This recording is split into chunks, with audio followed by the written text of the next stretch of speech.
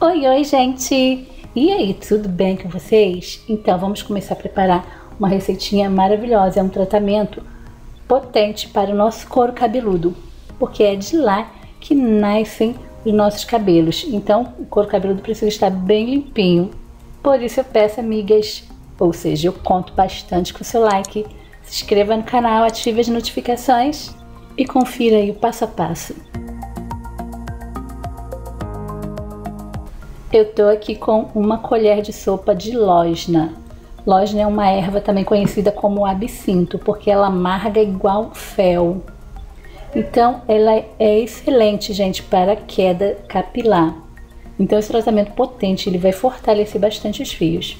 E eu vou levar agora no fogo com um pouco de água. Eu vou deixar ferver e quando esfriar eu vou coar, porque nós vamos usar 30 ml dessa, desse tônico.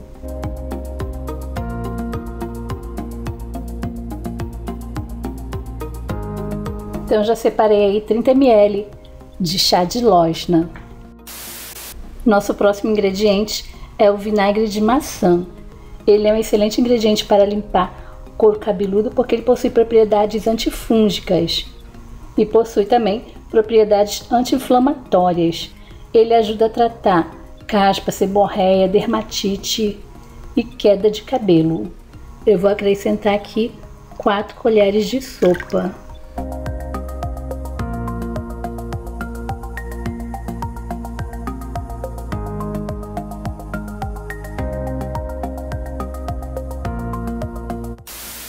Então, amiga, você vai aplicar em todo o couro cabeludo, apenas no couro cabeludo, com auxílio de um chumaço de algodão.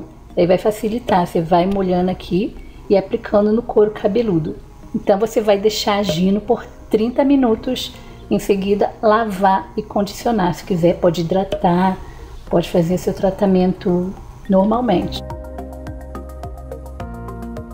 E observação: se a sua limpeza do couro cabeludo é para o seu cabelo crescer, então você deve fazer uma vez na semana. Agora, se for para queda, tem que repetir o tratamento duas vezes na semana.